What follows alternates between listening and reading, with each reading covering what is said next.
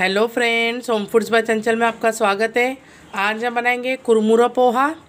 तो उसके लिए मैंने यहाँ पे कुरमुरे, जिसे मुरमुरा भी कहते हैं, ले लिए हैं। यहाँ पे मैंने मटर को बॉईल कर लिया है। आप चाहे तो फ्रोज़न मटर भी यूज़ कर सकते हैं। ठंडी के मौसम में मटर अच्छी आती है, इसलिए मैंने फ्रेश मटर को बॉईल कर लिया है। यहाँ पे मैंने कड़ी पत्ता और हरी मिर्ची ले ली है। यहाँ पे मैंने प्याज को बारीक काट लिया है, पत्ता गोभी को बारीक काट लिया है। आप चाहे तो इसमें सिंगदाने भी डाल सकते हैं। मुझे सिंगदाने इसमें पसंद नहीं है तो मैं स्किप कर रही हूँ, आप ऐड कर सकते हैं। तो चलिए हम अपने पोहा बनाना स्टार्ट करते हैं। तो यहाँ पे हमने एक बर्तन में पानी ले लिया है। इसमें हम सबसे पहले अपने कुरमुरों को भिगा के सॉफ्ट कर लेंगे। थोड़े थोड़े इसमें हम कुरमुरे डालेंगे। और अच्छे से इसे पानी में सोख कर लेंगे। हमें ज़्यादातर इसमें भिगा के नहीं रखना है। बस एक मिनट में हमारे ये अंदर पानी पी जाएगा कुरमुरे अच्छे से। अब इसे हम हाथों से निचोड़ लेंगे। एक साइड में प्लेट में निकाल लेंगे।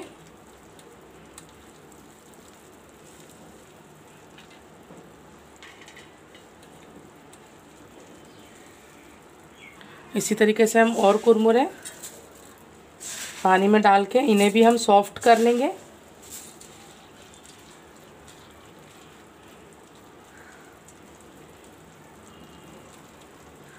अब जैसे ही कुरमुरे को पानी में डालेंगे, ये पानी पी लेंगे, आपको एक आवाज़ सी आएगी। अगर आप इसको निचोड़ना नहीं चाहते हैं तो पानी में डाल के बस पंद्रह से तीस सेकंड के बाद इस तरीके से निकाल लीजिए, निचोड़ने की ज़रूरत नहीं है।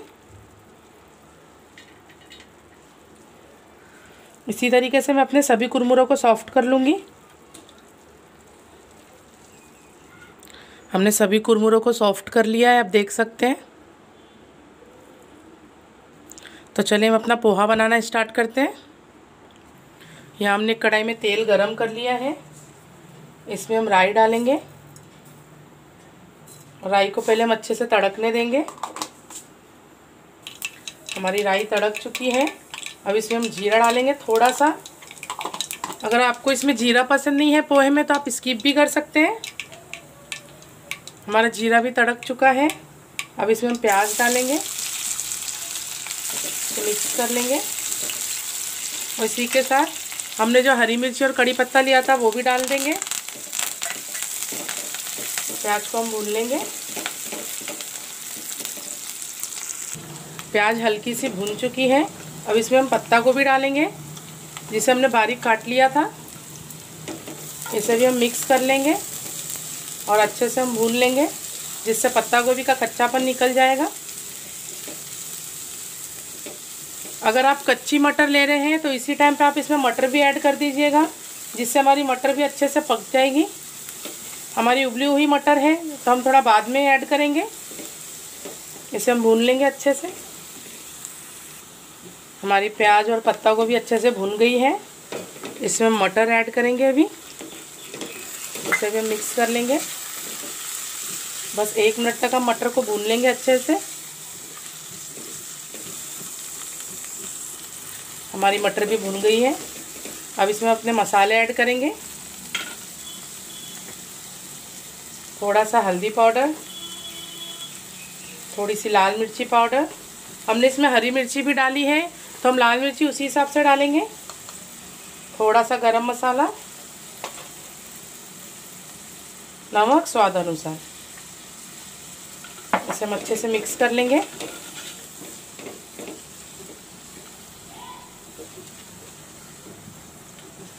और एक मिनट तक अच्छे से मसालों के साथ अपनी प्याज, पत्ता गोभी और मटर को भून लेंगे।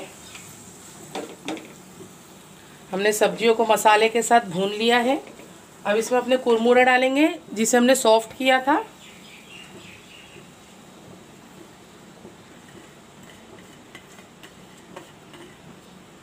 ऐसा अच्छे से मिक्स कर लेंगे।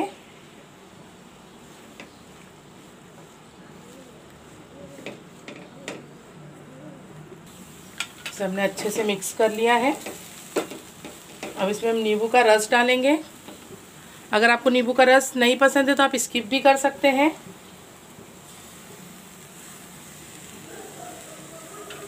इसे हम अच्छे से मिक्स कर लेंगे।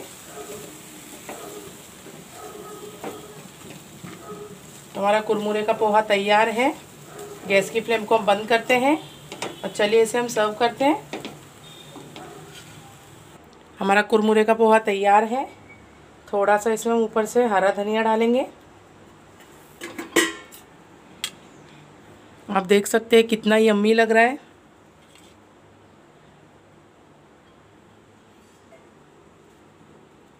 कितना टेस्टी लग रहा है। तो आप भी एक बार ज़रूर ट्राई कीजिएगा। पोहा नॉर्मल पोहा तो हम नाश्ते में हर बार बनाते हैं। एक बार कुरमुरे का पोहा ट्राई कीजिएगा। आपको बड़ा पसंद आएगा। तो आप भी एक बार ज़रूर ट्राई कीजिएगा और मुझे कमेंट करके बताएगा आपको कैसे लगा। मेरी वीडियो पूरी देखने के लिए थैंक यू और मेरे चैनल होम फूड्स बाय चंचल को लाइक सब्सक्राइब और ज़्यादा से ज़्यादा शेयर कीजिएगा। और बेल के बटन को दबाना ना भूलेगा थैंक यू